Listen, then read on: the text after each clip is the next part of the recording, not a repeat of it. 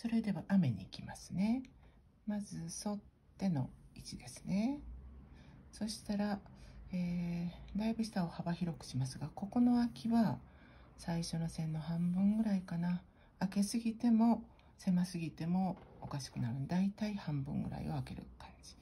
でこの内側に入る縦の線はえー、っとこの線よりも短めです。で角度を揃えて長く持ってていきますね。で同じ角度で入ってきて左よりも少し長くして抜きます。その時に同じか右が広い方がいいです。この空間はね。